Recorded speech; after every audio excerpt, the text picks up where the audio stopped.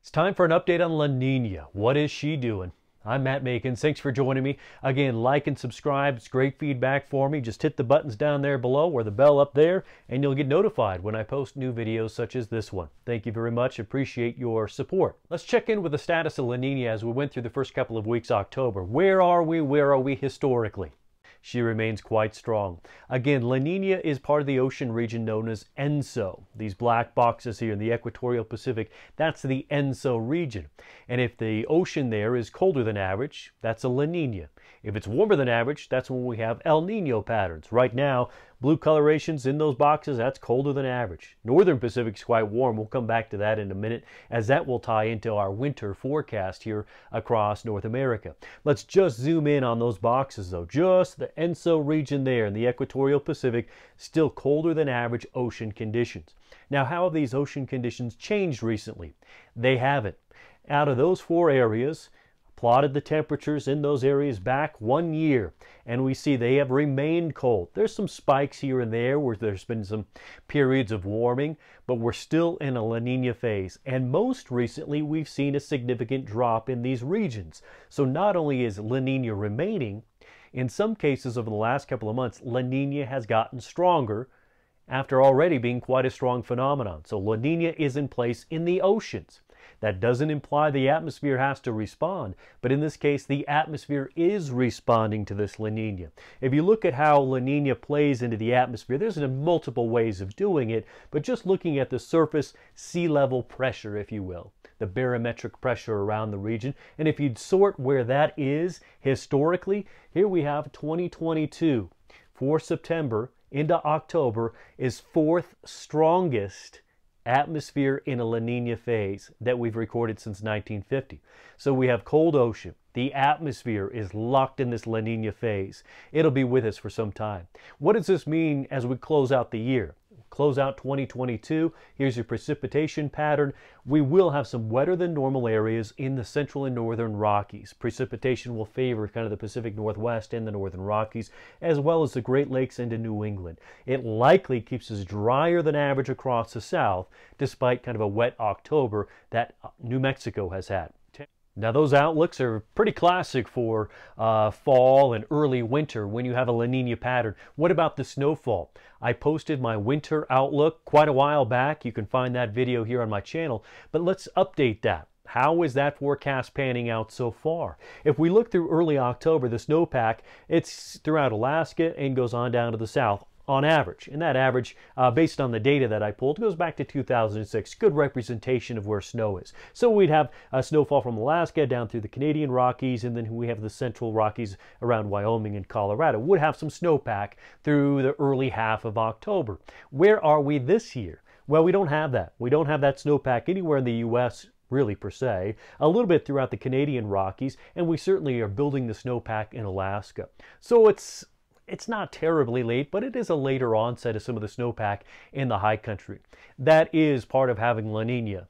That is also part of having a very warm Pacific Ocean just offshore. That means that high pressure or a ridge or a storm blocker is sitting over the western U.S. So it's not out of the question to see kind of the snowless areas that we've had across the west.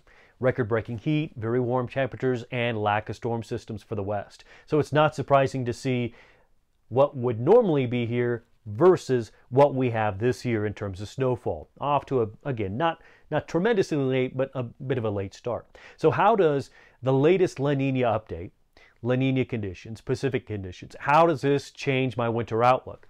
Here is the same snowfall forecast that I showed you about a month ago in that previous forecast. So we're still looking at a dome of, of relative heat and, and lack of storm flow for much of the west. So for snowpack in the Rockies, that's still looking drier than average. Snowfall will favor areas of the Pacific Northwest and the northern Rockies, just as I showed you in those outlook maps as we wrap up 2022. We may also see some moisture around the Great Lakes and New England states, kind of hit and miss. But kind of the driest area of all, if you look at a snowfall forecast based on where we are now and the analog forecast methodology I explained in the last video, we still see the biggest dry area, if you will, for snowfall remains over the west. Uh, California, into Nevada, Utah, and Colorado, and may move into Idaho. So, what La Nina has done here recently has not changed my opinion on the winter forecast. What I previously aired does continue. Now, what may change as we get into next spring, say? starts to bring in some warmer conditions throughout that ENSO region, kind of starting off here and then expanding. Now, this will be taking some time to do so. It's not going to be a rapid change, it does not appear. But once we hit 2023, we'll begin to see this ENSO region beginning to warm up. That does not mean the atmosphere will immediately respond. It may take a long time. It may take months for the atmosphere to say, okay, we're not in La Nina anymore. I'll begin to transition. So for the winter forecast, even if the ocean conditions begin to change, I'm still holding with La Nina or La Nina weather pattern as we go throughout the winter ahead. Other areas to watch out for the Pacific Ocean. Here recently, we've seen a little colder area north of Hawaii. That's mostly due to upwelling. There's been some storm systems there. Zooming in, there's that cooler area. What we're going to watch through the rest of October into November is right in here, Gulf of Alaska, and the coast of North America here with the ocean temperatures. Right around late October into November, these areas classically may begin to cool off. And once they do so, say by the end of November into December, they're kind of locked in, locked into their winter temperature orientation.